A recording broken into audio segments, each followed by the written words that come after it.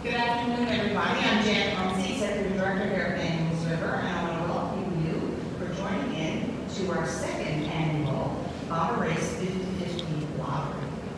Today with me, I have Gail Butler, who's the chair of our committee, as well as Don Stewart, the chair of our board, and Councilor Darren Mint. Gail and Darren will actually spin the drum for us today, and our chair, Don, will select the winning ticket. I will announce the name, and Verify. I do want to thank you so much for your support. We have over seventy-seven thousand dollars already in the jackpot, and this year, for the early bird prize, you have a choice between five thousand dollars, or you can have a beautiful greenhouse, which we nicknamed Mini Manual, which is valued at over seven thousand dollars. This greenhouse can be built to your specifications, so we're pretty excited to be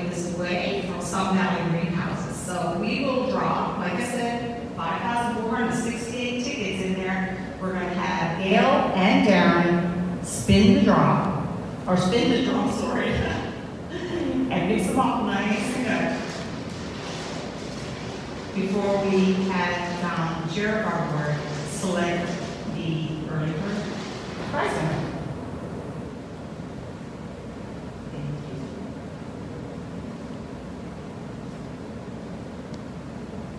It's so exciting.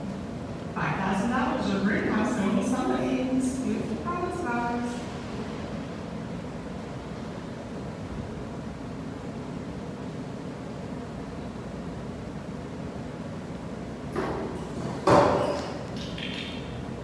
And we have Wayne Elms. Wayne Elms, I can verify. We have a winner. We have a winner. Wayne.